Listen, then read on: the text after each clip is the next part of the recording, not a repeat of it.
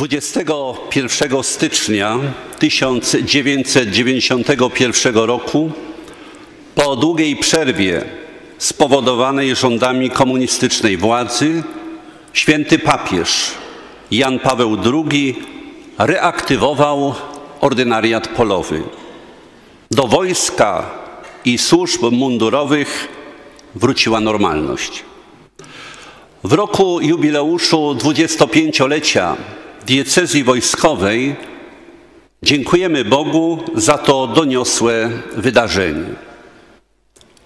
Dziękujemy też ludziom, którzy w jakikolwiek sposób na przestrzeni ostatniego ćwierćwiecza przyczynili się do tego, że żołnierze i ich rodziny oraz funkcjonariusze służb mundurowych mają swojego pasterza, swoich kapelanów, swoją diecezję. Zasadniczą misją kapelanów, jak w tym miejscu powiedział arcybiskup Celestino Migliore, nuncjusz apostolski w Polsce, nie jest obrona terytorium i granic, ale obrona człowieka. To ważne zdanie. Wspierają oni żołnierzy i funkcjonariuszy w trwaniu na straży bezpieczeństwa, wolności i pokoju oraz poszanowania godności i podstawowych praw człowieka. Dziękujemy dziś świętemu Janowi Pawłowi II, synowi oficera Wojska Polskiego, za odnowienie ordynariatu polowego w Polsce i ustanowienie biskupa polowego.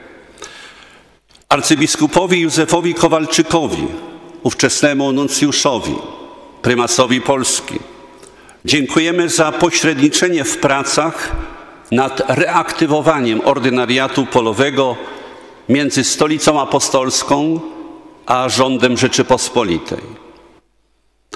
Na szczególne podziękowanie zasługuje arcybiskup generał dywizji Sławoj Leszek Głódź, pierwszy biskup polowy w powojennej Polsce. Księże arcybiskupie, serdecznie witam w katedrze polowej Wojska Polskiego.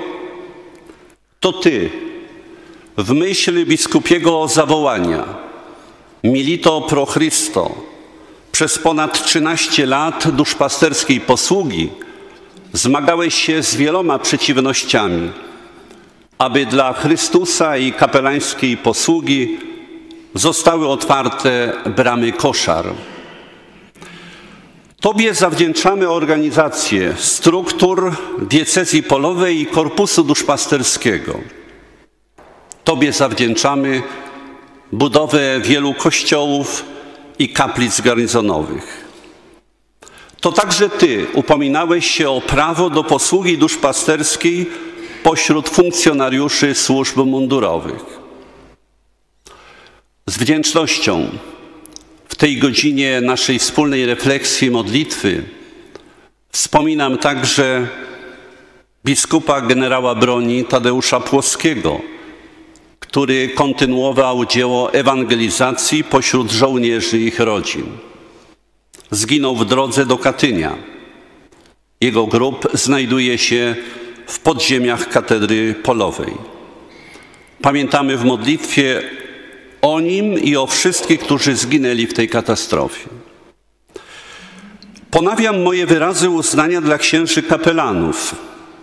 Jest ich tylko mała cząstka dzisiaj ze wszystkich służb, którym dziękowałem już w sposób szczególny 21 stycznia podczas mszy świętej celebrowanej tu w katedrze pod przewodnictwem arcybiskupa Celestino Miliore, nuncjusza apostolskiego w Polsce.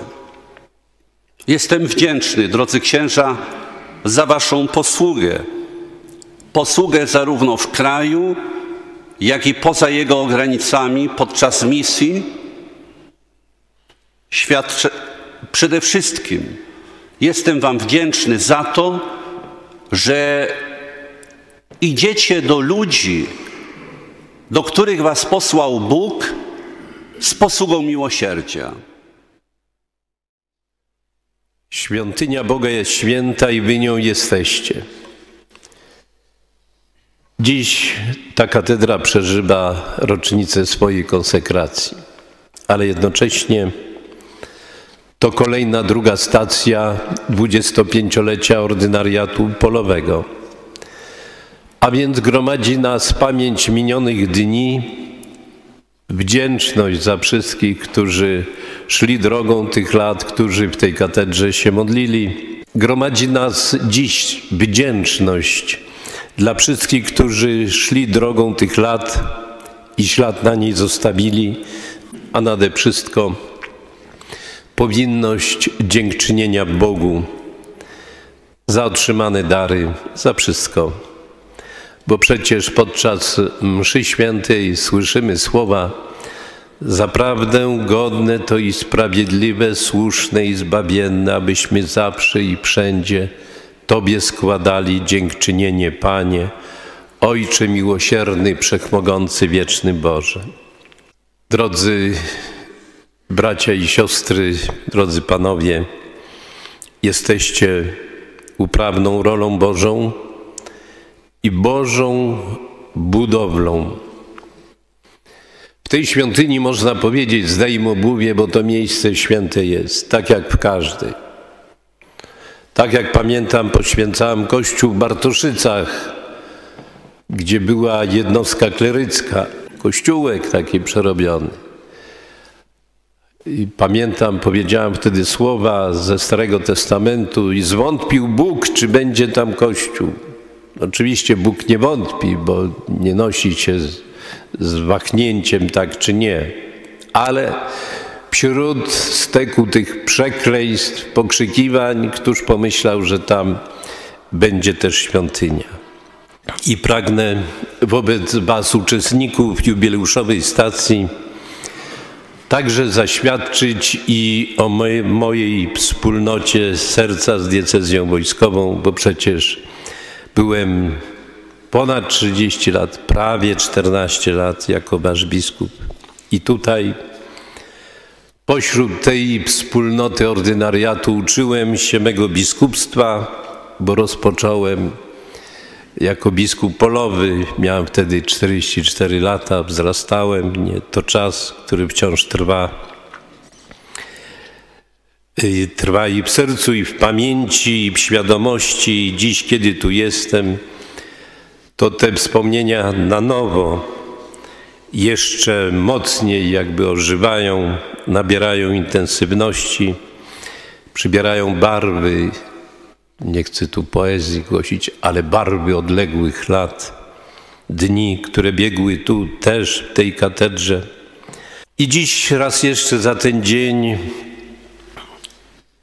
za włączenie mnie do tej wspólnoty także księży kapelanów, wojska i formacji mundurowych, których tyle, bo widzę tu i Straż Celną, i Straż Graniczną, i policję, i, i podczas tej Eucharystii będziemy dziękować za te łaski tego ćwierćwiecza i składamy na tym ołtarzu to wiano posługi ordynariatu polowego, posługi Bogu, Kościołowi, Ojczyźnie, Wojsku Polskiemu.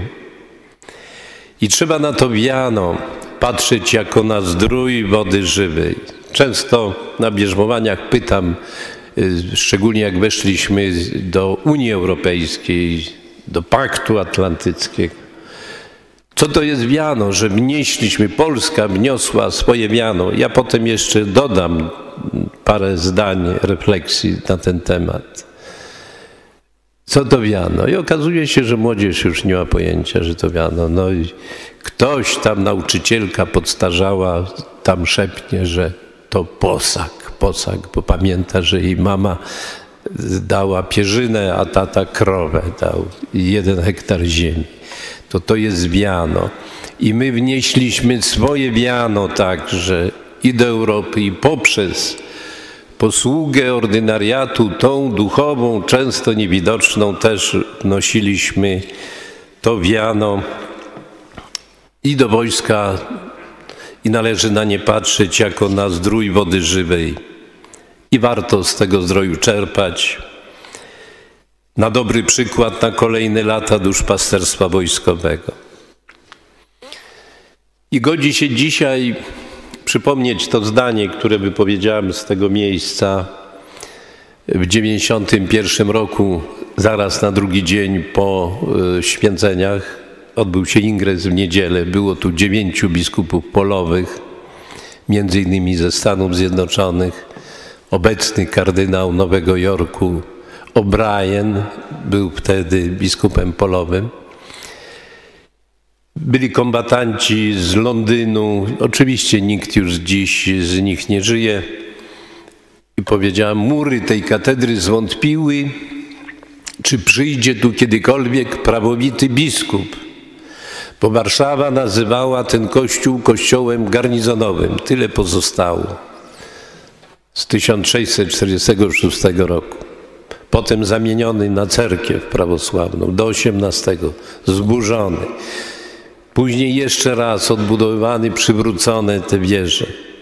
Zbombardowany w 1944 w czasie powstania warszawskiego w sierpniu. Odbudowany.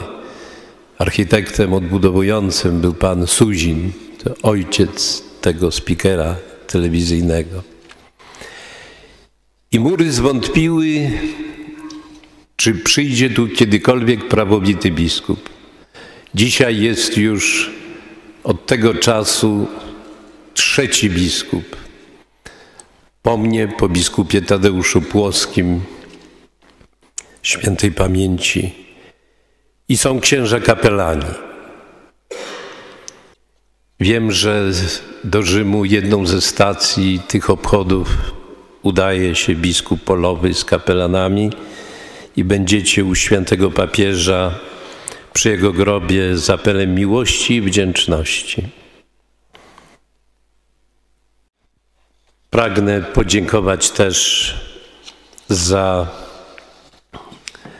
modlitwy na Jasnej Górze i te prywatne, bo przecież przyszło mi też uczestniczyć tej budowie ordynariatu polowego i ze słowami Milito pro Christo.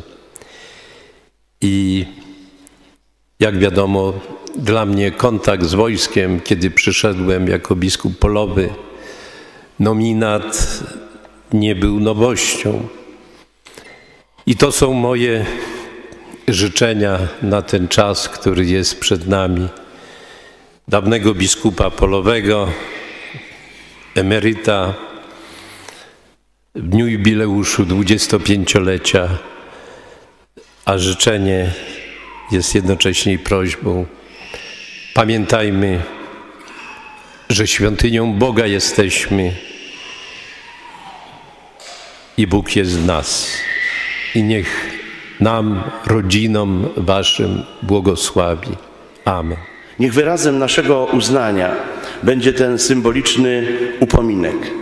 Może bardzo skromny, ale związany właśnie z tą katedrą, z tym miejscem, w którym rozpocząłeś swoją posługę jako następca apostołów. Jest to pierścień, pierścień kapituły katedralnej. A dlatego pierścień, że to jest wyraz jakiejś bliskiej łączności, można powiedzieć zaślubin, ale jak pisał papież Innocenty III, pierścień oznacza doskonałość darów otrzymanych od Chrystusa i jest symbolem wierności, którą Chrystus przyrzekł swojemu Kościołowi oblubienicy. Wierności, którą Ty, księże arcybiskupie, znaczyłeś całą swoją 25-letnią biskupią posługę. Niech Maryja, hetmanka żołnierza polskiego, strzeże Cię na wszystkich drogach dalszej apostolskiej misji. Szczęść Boże.